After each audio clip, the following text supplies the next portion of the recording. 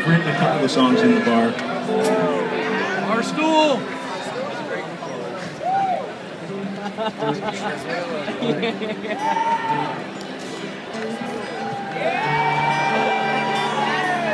yeah.